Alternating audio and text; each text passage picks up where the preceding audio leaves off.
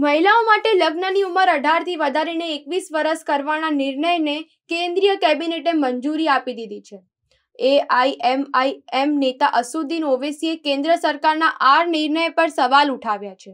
તેમણે કહ્યું કે જ્યારે છોકરા છોકરીઓ અઢાર વર્ષની ઉંમરે પુખ્ત થઈ જાય છે, તેમને સાંસદ અને ધારાસભ્ય પસંદ કરવાની સ્વતંત્રતા મળે છે, તો પછી તેઓ તેમના જીવનસાથીની પસંદગી કેમ ન કરી શકે? અસુદ્દીન ઓવેસીએ આ મુદ્દે એક પછી એક અનેક ટ્વીટ કર્યા છે. તેમણે ટ્વીટમાં કહ્યું કે મોદી સરકારે છોકરીઓના લગ્નની ઉંમર વધારીને એકવીસ વર્ષ કરવાનો નિર્ણય લીધો છે. આ વર્તમાન સરકારનું પિતૃત્વ છે, જેની આપણે અગાઉ પણ અપેક્ષા રાખીએ છીએ. તેને લખ્યું કે અઢાર વર્ષની છોકરી અને છોકરો કોન્ટ્રાક્ટ સાઇન કરી શકે છે બિઝનેસ શરૂ કરી શકે છે. પીએમ પસંદ કરી શકે છે, સાંસદ ધારાસભ્યને પસંદ કરી શકે છે, પણ લગ્ન કરી શકતા નથી. તેઓ પરસ્પર સંમતિથી સેક્સ કરી શકે છે લિવ ઇન રિલેશનશિપમાં રહી શકે છે, પરંતુ તમારા જીવનસાથીને પસંદ કરી શકતા નથી. આ હાસ્યાસ્પદ છે.